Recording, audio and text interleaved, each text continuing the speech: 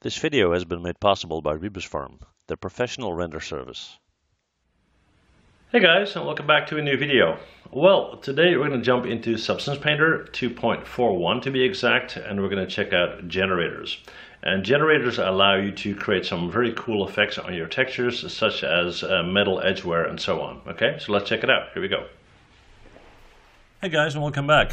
Well, we're in Substance Painter 2.41 and in this short tutorial I'm going to explain to you guys how to use generators in Substance Painter. Okay, so I loaded up a model of a lunchbox that I did a while back and as you can see I already applied some uh, textures and materials to the handle up here and to the latch in front and I'm going to show you guys how to apply a generator to the main box here okay? Now I would like that lunchbox to uh, look like it's uh, painted but I also want to see some wear and uh, scratches and so forth on the surface so we can see the bare metal underneath okay? So kind of scratched off paint if you will all right? So what I need to do first is I need to make sure that I'm working on the correct layer so I got all my materials here and I know for a fact that the top one here, if I turn that off, that's the main body, okay? So that's the one I'm gonna work on, select that.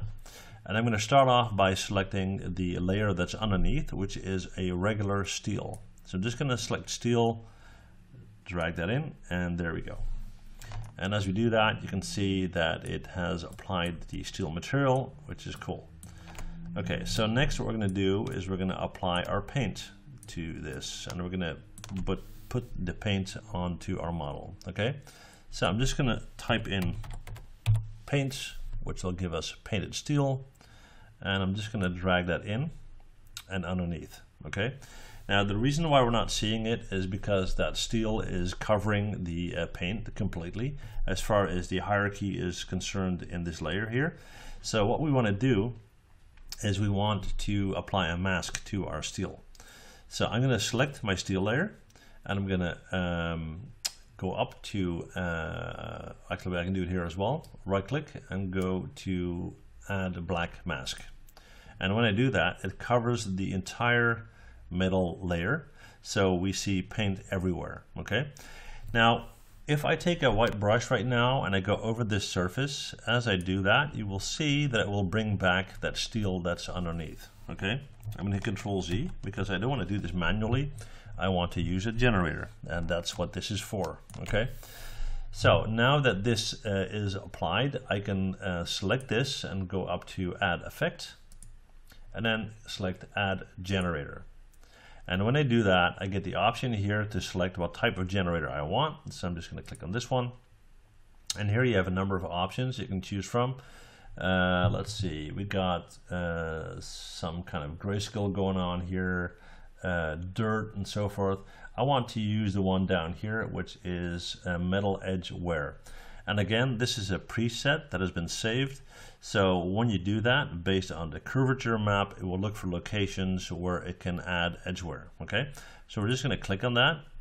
And as we do that, immediately you see the very cool effect of anything that is has edges, is poking out, so to speak, will have that wear, okay? Now, what if you are not happy with how this looks?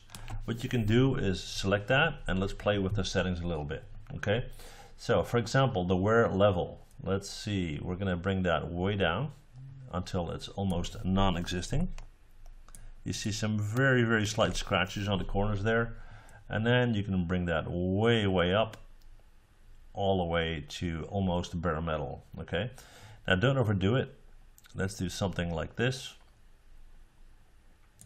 and then let's see what else. We have a contrast that we can play with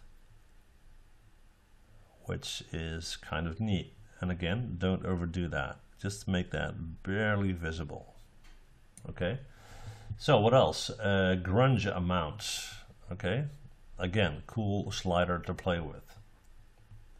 Now, what's uh, important here is that we need to uh, make sure that it looks realistic, and this is different on each model. So depending on what you're going for, you need to kind of eyeball that and see if that will bring you the effect that you're looking for, right?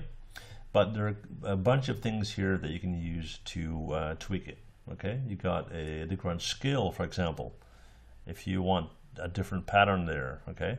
I'm gonna bring that back because I kind of liked the way we had it. And that's pretty much all there's to it. So yeah, uh, if you have any questions, as always, uh, let me know. And uh, that said, thank you guys for watching. See you guys next time. Bye.